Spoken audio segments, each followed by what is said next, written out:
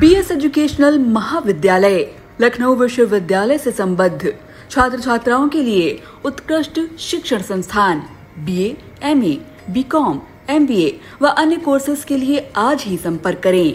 Khairabad Biswa road Pakariya Sitapur. सत्र दो हज़ार तेईस चौबीस के लिए प्रवेश प्रारंभ। मंदिरों में अलग अलग देवताओं की पूजा के बारे में तो आपने खूब देखा और सुना होगा, लेकिन आई इंडिया आपको एक ऐसे मंदिर के बारे में बताने जा रहा है जहाँ मेढक की पूजा श्रद्धालु करते हैं। यानी कि यहाँ शिव जी मेढक की पीठ पर विराजमान है।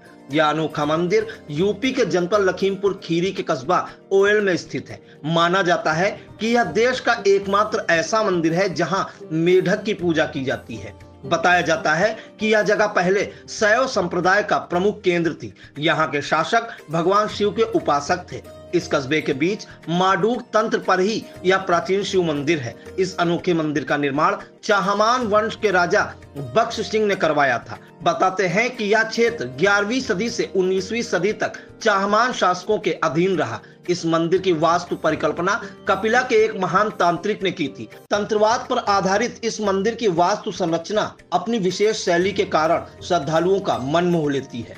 किवदंतियों में प्रचलित है कि इस मंदिर का निर्माण सूख और बाढ़ जैसी प्राकृतिक आपदा से बचाने के लिए कराया गया था। मेढक मंदिर में सावन माह में तो श्रद्धालुओं का हुजूम उमड़ता है ही। इसके अलावा दीपावली व महाशिवरात्रि पर भी भक्तों की भारी भीड़ देखने को मिलती है।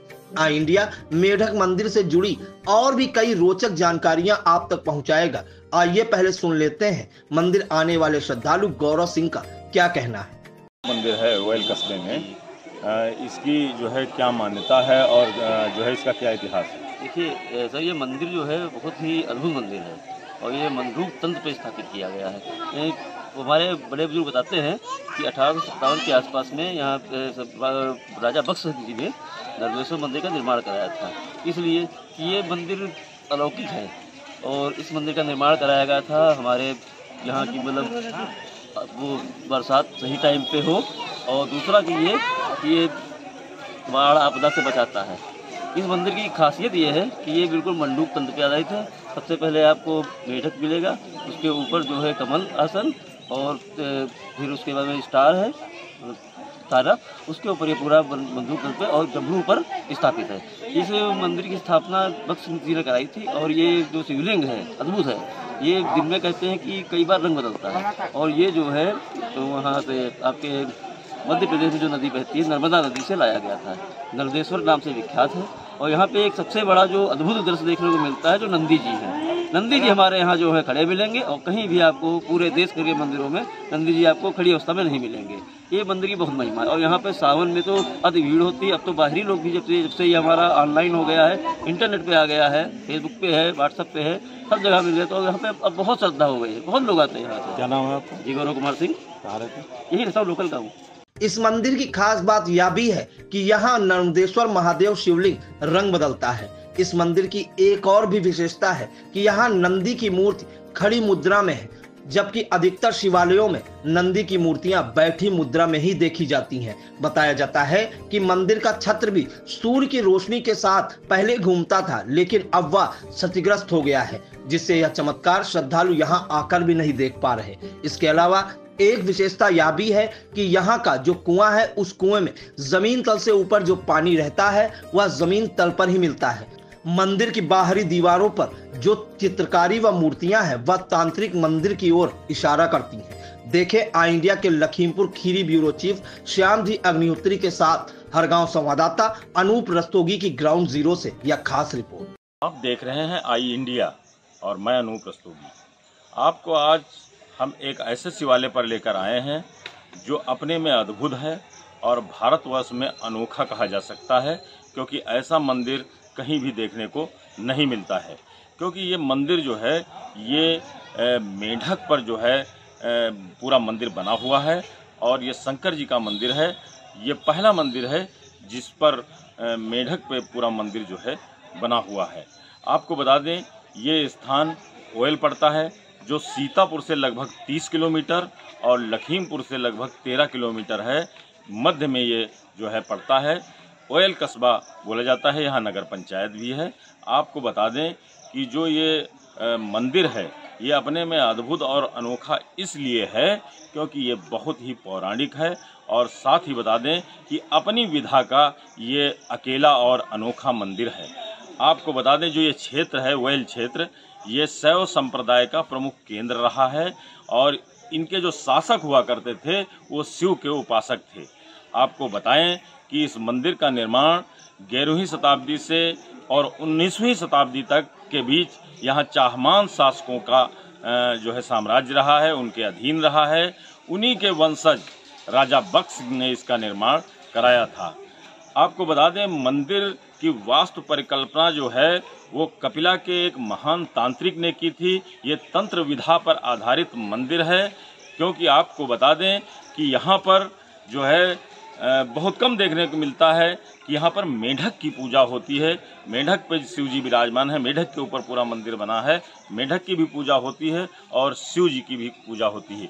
यहाँ शिव जी नर्मदेश्वर के रूप में विराजमान हैं और आपको बता दें कि ये मंडूक तंत्र पर आधारित मंदिर है। और ये भी बता दें कि आपको कि इसका निर्माण बहुत समय पूर्व किया गया था। आपको बताएँ कि इस निर्माण के पीछे लोग बताते हैं, ये मनसा रही है कि जो भी यहाँ पर प्राकृतिक आपदाएँ आती थीं और सूखा है, बाढ़ है, इसको बचाने के लिए तंत्र विद्या के आधार पर इस मंदिर का निर्माण कराया गया। आपको ये भी बताएँ कि इस मंदिर में कई अनोखी चीज़ें हैं। आपको बताएँ, कहीं भी आपको जो नंदी जी हैं, वो आपको कहीं भी खड़े हुए नहीं मिलेंगे। इस मंदिर में आपको बताएँ कि नंदी जी जो है, खड़े हुए हैं, जबकि अधिकांश या पूर्णतः ये देखने को मिलता है कि नंदी जी या तो मंदिर के अंदर बैठे हुए हैं, या नंदी जी बाहर मंदिर के बैठे हुए हैं। और ये एक ऐसा मंदिर है, जहाँ पर नंदी जी जो है, खड़े हुए हैं, और नर्मदेश्वर महादेव जी का ये मंदिर है। साथ ही आपको ये भी बताएँ कि यहाँ पर जो आकृतियाँ उकेरी गई हैं, आप देख सकते हैं कि जो आकृतियाँ उकेरी गई हैं, वो जो है सब साधना से संबंधित आकृतियाँ हैं, जिससे ये पूर्णतया लगता है कि ये मंदिर जो है, तंत्र साधना के लिए बना, बनाया गया और जो है लोगों के कल्याण के लिए। जैसा कि आपको बताएँ, यहाँ इतिहासकार बताते हैं कि प्राकृतिक आपदाओं से बचाने के लिए राजा बख्श सिंह ने इसका निर्माण कराया था। और आपको यह भी बताएँ कि इस मंदिर में सावन में बहुत से श्रद्धालु आते हैं, महाशिवरात्रि पर बहुत से आयोजन होते हैं, साथ ही दीपावली पर भी विशेष जो है पूजन अर्चन होता है। तो आप देख रहे थे आई इंडिया। आई इंडिया ने आपको दिखाया कि जहाँ मेढक की पूजा होती है, ये एक अनोखा मंदिर है।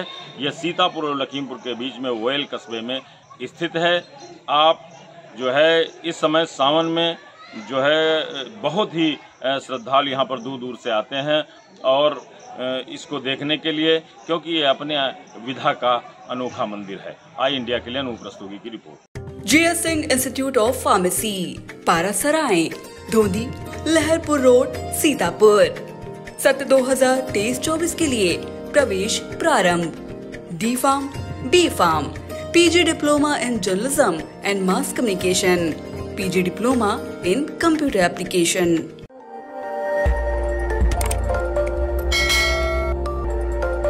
खबर आपकी, नज़र हमारी। देखते रहिए आई इंडिया।